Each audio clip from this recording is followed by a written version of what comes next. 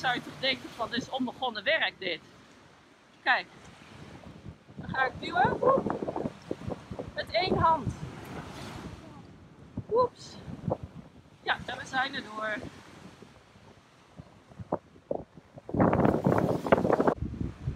Kijk, ik geef nou gewoon een duwtje. En oeps, rolt ze zo'n heel eind weg. Zie je dat? Wel lastig is bij de overstap, is dat die voetplaat dus niet inklapbaar is. En daardoor moet je dus eigenlijk wel een hele grote sprong maken of toch een opstap. Of erop gehezen worden. Dus dat is nog een verbeterpuntje. Het is echt super dat je zo'n rolstoel kunt lenen op het strand. Want eh, nou ja, zo hebben we gewoon ook hartstikke veel lol samen. Goed initiatief van die strandtenten.